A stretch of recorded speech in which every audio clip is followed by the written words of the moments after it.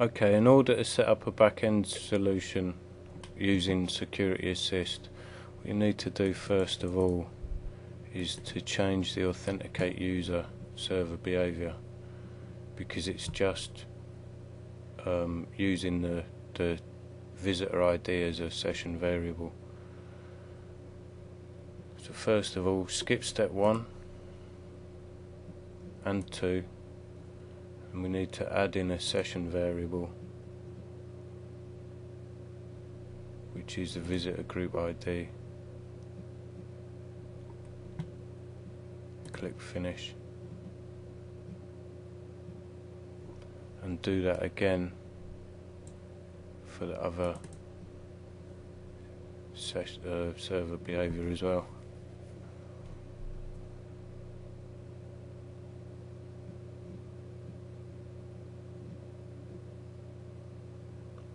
This is all done on your visitor login page.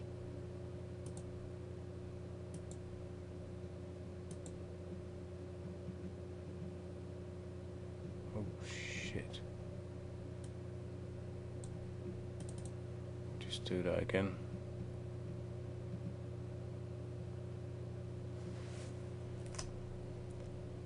Skip the first step. Skip the second step.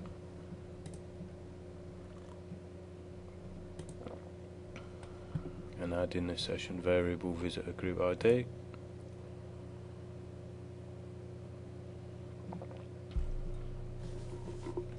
We want to go modify security assist and the access rules manager.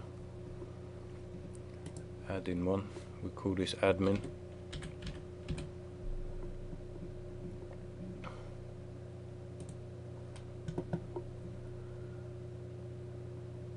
and then the value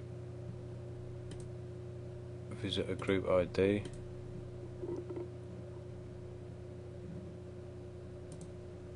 we say if it's 3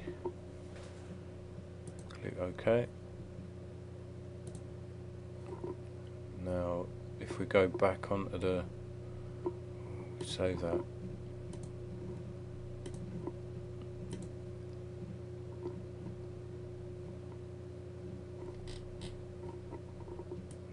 if we select the menu.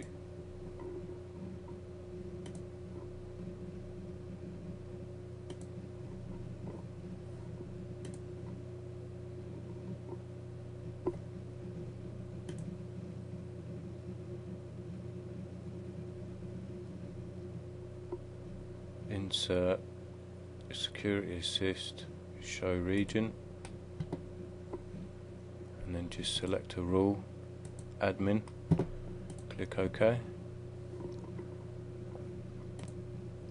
There you go. Show region so if if you're an admin you can see that panel there. And it's as easy as that